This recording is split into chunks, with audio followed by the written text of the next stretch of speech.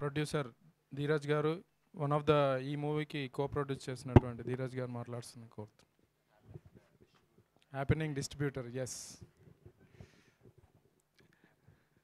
Sir baby అనేది నాకు ఒక సినిమా కాదండి. ఇది నాకు లైఫ్ జర్నీ ఒక ఫోర్ ఇయర్స్ uh, చాలా ఎమోషనల్ జర్నీ చాలా అటాచ్మెంట్ ఉన్న జర్నీ ఫోర్ అంటే రిలీజ్ అయ్యి ఇప్పటికి ఫోర్ ఇయర్స్ అయింది భయ్య. అంటే మనం స్టార్ట్ చేసిన దగ్గర నుంచి ఇప్పటి వరకు. సో అంటే సినిమా రిలీజ్ అయ్యాక కూడా నాకు అది ఎమోషనల్ జర్నీ లాస్ట్ వన్ ఇయర్గా అందుకే నేను అన్నీ కలిపి ఫోర్ ఇయర్స్ చెప్పా.